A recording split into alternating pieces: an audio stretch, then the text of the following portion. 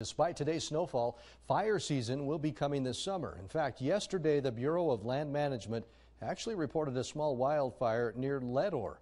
Local News 8's Evan Thomason shows us the fire danger we can expect going into spring based on our snowpack.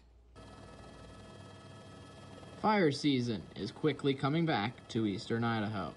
The Bureau of Land Management is planning on measuring the water content of soils around the region next month to determine the specific fire risk going into summer.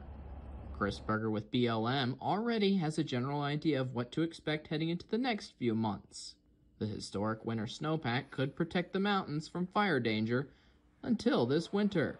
There's a very good chance that the higher elevations will still contain a lot of moisture in fact, some places may not even lose snow through the summer. It will be there late into the summer, and I would anticipate that we would see um, decreased fire danger in the higher elevations. Yet the valleys should expect an increase in fire potential. Over the next few months, we are going to have a small period of elevated fire danger as we come out of winter and into spring because the dead fuels and dormant fuels from last year will be uncovered and they'll dry out rather quickly, in some cases, an, a couple hours, and they'll become available to burn. These predictions stand firm only up until July. What happens next will determine the peak fire weather conditions.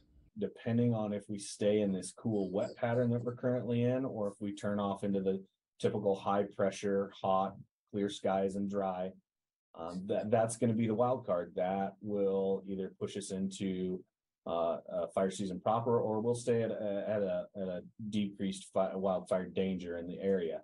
Reporting in Idaho Falls, I'm Evan Thomason. Peak fire season is from July through September.